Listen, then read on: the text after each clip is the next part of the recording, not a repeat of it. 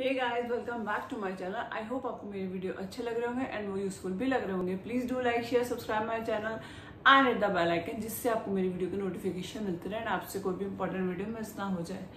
मैं आप लोगों से फिर से रिक्वेस्ट कर रही हूँ. मैं इतना मतलब लाइक इतनी मेहनत करके आपके लिए कोई ना कोई यूजफुल कंटेंट लाने की कोशिश करती हूँ. प्लीज़ मेरे दोस्तों, आप थोड़ा सा कष्ट उठा के प्लीज़ मेरा चैनल सब्सक्राइब कीजिए बिकॉज़ अभी भी बहुत सारे ऐसे लोग हैं जो अनसब्सक्राइब ही हैं मेरे चैनल से। इसलिए प्लीज़ प्लीज़ आपको एक क्लिक करना है एंड आपको बस इतना सा ही काम करना है। आइए बात करते हैं आज के टॉपिक के बारे में। आज का जो टॉपिक है, वो हम लोग को बहुत ज़्यादा परेशान करता है। ये वीडियो अनोइंग नहीं होगा बट वो टॉपिक बहुत ज़्यादा अनोइंग है। वो है हमारा डेंड्रफ हम बहुत कोशिश करते, ना जाने कितनी तरह के शैम्पू यूज़ करते हैं ये भी लगा रहे हैं वो भी लगा रहे हैं किसी ने ये बता दिया तो वो लगा रहे हैं किसी ने वो बता दिया, वो लगा रहे। हैं इसलिए इतने सारे शैम्पू लगाने के बाद भी हमारा डेंड्रफ नहीं जाता है। तो आज मैं आपसे बात करने वाली हूँ डेंड्रफ के बारे में एंड उसकी रेमेडी के बारे में। अपने बालों को कभी भी ओवर प्रोडक्ट से ओवरलोड मत किया कीजिए। मैं आपसे छोटी सी बात शेयर करना चाहती हूँ, आप कभी खुद नोटिस कीजिएगा, अगर अभी तक नहीं किया है। हम जब भी कलर करवाते हैं अपने बालों में, जो लोग फुल मतलब फुल कवरेज लेते हैं अपने बालों में, उनको तो शायद वो चीज़ समझ में नहीं आएगी बट जो लोग हाईलाइट करवाते हैं या मतलब पार्टीशन में अपने हेयर को कलर करवाते हैं, आप कभी भी देखिएगा कि जो पार्ट में आपने हेयर कलर नहीं करवाया है, वो आपके इजीली सुलझ जाएँगे जब आप कॉम करेंगे। एंड जिन पार्ट में आपने कलर करवा रखा है, वो बहुत ज़्यादा दिक्कत देंगे और वो ही ज़्यादा रफ भी लगेंगे। बिकॉज़ ये मेरा पर्सनल एक्सपीरियंस है, इसलिए मैं आपसे शेयर कर रही हूँ।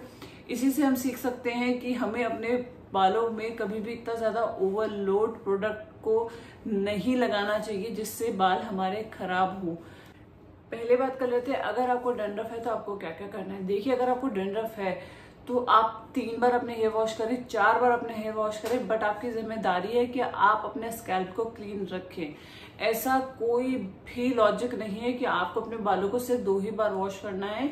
अगर आपके बाल गंदे हो रहे हैं, आपको इची मतलब इचीनेस फील हो रही है तो आप तीन बार शैम्पू करें, चार बार शैम्पू करें, कोई प्रॉब्लम नहीं है। वो शैम्पू माइल्ड होना चाहिए, इतना ज़्यादा केमिकल वाला नहीं होना चाहिए। इस बात का आप थोड़ा सा ध्यान रखें। एंड सेकेंड चीज़, आपको ऑयलिंग करनी ही चाहिए बिकॉज़ ऑयलिंग अगर आप करेंगे तो आपका ब्लड सर्कुलेशन इम्प्रूव होगा, उससे भी आपका डेंड्रफ कम होगा, आपके बालों को अच्छी ग्रोथ मिलेगी। जो आज मैं पर्टिकुलर रेमेडी आपसे शेयर करने वाली हूँ, वो डेंड्रफ के लिए ही है। मैं ये नहीं कह रही कि आपने एक बार वॉश किया और आपको एक बार में सेंडर डेंड्रफ भाग जाएगा, लेकिन आपको एक विजिबल रिज़ल्ट फ़र्स्ट वॉश में देखने को मिलेगा। ये मेरी गारंटी है। उसके लिए आपको बस सिंपल सी वो रेमेडी फॉलो करनी है रिलीजियसली फॉलो करना है कंसिस्टेंट रहना है। एंड आप देखेंगे, कुछ वॉश के बाद आपका स्कैल्प बिल्कुल क्लीन हो जाएगा बिकॉज़ कुछ लोगों का बहुत ज़्यादा डेंड्रफ होता है। वो डेंड्रफ जब जम जाता है, वो स्कैल्प इतना इची हो जाता है कि पूरे टाइम हम बस खुजली कर रहे होते हैं। वो अच्छा नहीं लगता है और हमें इतने ज़्यादा इरिटेट हो जाते हैं। और अगर डेंड्रफ हमारे फेस पे आता है तो हमें एक्ने की प्रॉब्लम भी होती है। डेंड्रफ इसलिए होता है, जब हमारे स्कैल का पीएच लेवल बिगड़ जाता है तो वो डेंड्रफ हमें होने लग जाता है। इसलिए वो पीएच लेवल इसलिए बिगड़ता है बिकॉज़ हम मल्टीपल शैम्पूज अपने स्कैल्प पे ट्राई करते हैं। वो मत किया कीजिए, आप किसी एक ही शैम्पू पे कंसिस्टेंट रहिए।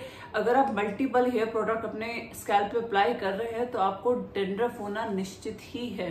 एंड जब भी आप हेयर ऑयलिंग कर रहे हैं तो मैं आपको ये सजेस्ट करूँगी कि आप उसमें टी ट्री ऑयल के कुछ ड्रॉप्स पाँच छह ड्रॉप्स आप उसमें मिक्स करा कीजिए एंड अपने स्कैल्प पे मालिश किया कीजिए। अगर आपको लगता है, जैसे मैंने आपको पहले भी बताया कि आप ऑयल ओवरनाइट नहीं रख सकते तो आप नहाने से कुछ देर पहले, दो घंटे पहले आप ऑयलिंग कर सकते हैं। वीक में एक बार भी करेंगे तो कोई प्रॉब्लम नहीं है। बस ध्यान रखिएगा कि आपको अपने स्कैल्प को हमेशा क्लीन रखना है। एंड जो मैंने अपना पहला फ्लैक्सीड वाला वीडियो आपसे शेयर किया था, वो हेयर मास्क को आप एक बार वीक में ज़रूर अप्लाई कीजिए। वो आपकी स्कैल्प की जो हेल्थ है, उसको बहुत ज़्यादा इम्प्रूव करेगा एंड आपको बहुत ज़्यादा फ़ायदा मिलेगा डेंड्रफ में। बिकॉज़ अगर हमारा स्कैल्प हेल्दी है तो हमें हेयर से रिलेटेड कोई भी प्रॉब्लम नहीं होगी। उसका लिंक मैं आपको डिस्क्रिप्शन बॉक्स में दे दूँगी, आप प्लीज़ उसे चेक कीजिएगा। अब सीधे बात कर लेते हैं रेमेडी के बारे में। आपको टू स्टेप रेमेडी फॉलो करनी है। बहुत ही इजी रेमेडी है। आप इजीली फॉलो कर सकते हैं। कोई भी फॉलो कर सकता है। चाहे कोई कितना भी बिज़ी हो, चाहे कोई कितना भी फ्री हो इजीली आप उसे फॉलो कर सकते हैं एंड आपको विजिबल रिज़ल्ट मिलेंगे। पहली रेमेडी जो है, उसके लिए आपको टू टेबल स्पून ऑफ़ सरसों का तेल लेना है। उसमें आपको आधा नींबू मिक्स करना है। आपको इसको अच्छे से मिक्स करना है एंड अपने बालों में लगा लेना है। आपको अपने बालों में इसको दो घंटे के लिए लगाना अगर आपके पास टाइम नहीं है तो आप एक घंटे के लिए लगाइए एंड उसके बाद वॉश कर लीजिए। आप जब एक बार वॉश करेंगे, आपको दिखेगा कि हाँ आपका डेंड्रफ पहले से कम हो गया है, आप ये खुद फील करेंगे। अब जो आपके स्केल का पीएच लेवल बिगड़ ही चुका है तो उसको सुधारना भी बहुत ज़रूरी है। उसके लिए आपको क्या करना है, आपको एक कप पानी में आधा cup apple cider vinegar mix करना है। आप इसे किसी स्प्रे बॉटल में स्टोर कर लीजिए एंड अपने हेयर वॉश करने से पहले, आधा घंटा पहले आप इसे अपने बालों में अच्छे से आप इसे स्प्रे कीजिए। एंड आधा घंटे बाद आप अपने हेयर वॉश कर सकते हैं। देखिए, ये मत करिएगा कि मस्टर्ड ऑयल वाली रेमेडी छोड़ दी और इस, ये वाली फॉलो करने लग गए। ऐसा मत कीजिएगा, नहीं तो आपको वो अच्छे रिज़ल्ट नहीं मिलेंगे। अब ये रेमेडी आपको यूज़ कैसे करनी है? आप एक बार ऑयल लगा सकते हैं, दो बार स्प्रे कर सकते हैं, या दो बार अगर आप ऑयल लगा रहे हैं तो एक बार ही स्प्रे कीजिए। वीक में तीन दिन ही आपको ये रेमेडीज ट्राई करनी है, इससे ज़्यादा मत कीजिएगा। ये आपके कन्वीनियंट के ऊपर है कि आपको दो बार स्प्रे लगाना है या दो बार ऑयल लगाना है बट टोटल तीन बार से ज़्यादा मत यूज़ कीजिएगा। ये बहुत ज़्यादा एसिडिक हो जाएगा और आपको नुकसान कर सकता है, इसलिए आप ओवर एक्सपेरिमेंट मत कीजिएगा, जैसा मैं आपको बता रही हूँ वैसा ही यूज़ कीजिएगा। आप ये रेमेडी ट्राई कीजिएगा। मुझे ज़रूर बताइएगा कि आपको इसका रिज़ल्ट कैसा मिला।